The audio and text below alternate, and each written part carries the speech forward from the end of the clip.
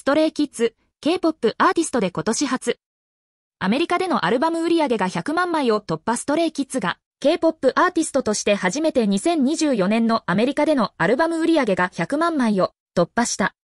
彼らは最近2024年初のカムバック作で最新作である ATE でアメリカでの売上50万枚以上を突破し、アメリカレコード協会、 Recording Industry Association of America から通算7回目のゴールド認定を獲得した。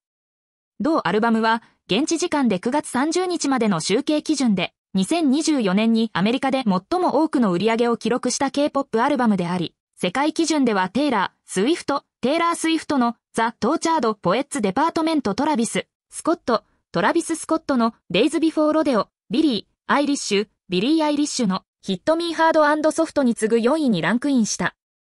ATE に対する熱烈な反応に後押しされ、 Stray Kids はこれまで発売したフィジカル及びデジタルアルバムのユニットが今年1年間でアメリカで合計100万枚以上の売り上げを記録し、2024年基準で K-POP アーティスト初の記録を追加した。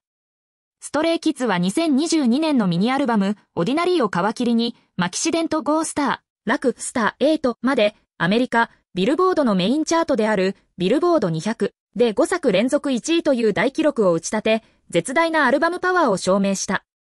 世界を舞台に爆発的な人気を集めている彼らは、新しいワールドツアー、ドミン ATE と共に活躍の場を広げている。8月24日から25日、31日から9月1日にソウルの KSPO ドームで華やかに幕を開けた。今回のツアーは、シンガポール、ナショナル、スタジアムで海外公演をスタートし、メルボルンのマーベル、スタジアム公演に続き、シドニーのアリアンツ、スタジアム、高尾のナショナル、スタジアム、バンコクのナショナル、スタジアム、ジャカルタのゲロラ、ブン、カルノ、マディア、スタジアムなど、計6回のスタジアム公演で自己最高規模で展開する。